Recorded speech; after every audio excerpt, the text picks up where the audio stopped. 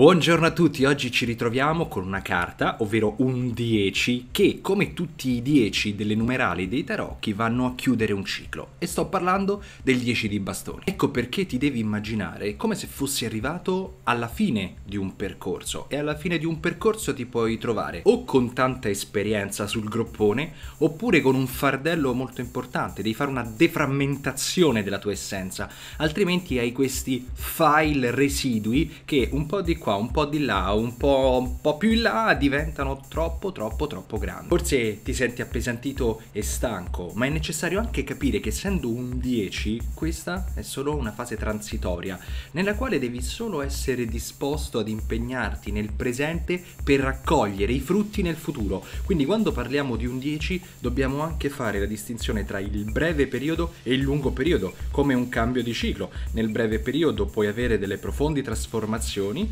nel lungo periodo puoi avere ulteriori trasformazioni più grandi, più piccole, peggiori, migliori. Mi raccomando però, perché se hai già la naturale tendenza a farti carico di tutti i problemi del mondo, anche quelli che non ti competono e non ti competeranno mai, allora devi valutare se questo fardello di cui poc'anzi abbiamo parlato è realmente necessario oppure non, non è tuo. Ecco, capisci se è tuo o non è... Se non è tuo, n- non è tuo, cioè Occupati del tuo figlio mio, ma altrimenti come riparti con l'anno nuovo che già sei stanco, affranto, distrutto? E un altro aspetto interessante di questa carta è proprio la distinzione tra faccio tutto da solo o mi faccio aiutare. Ecco, a volte l'uomo che non deve chiedere mai è l'uomo degli anni 90. Qua invece ti conviene proprio cercare degli alleati, delle persone che ti possano sostenere lungo il tuo percorso e lungo il tuo cammino. Ecco perché diviene preponderante questa settimana, qualora queste energie dovessero risuonare, se non ti risuonano lascia perdere,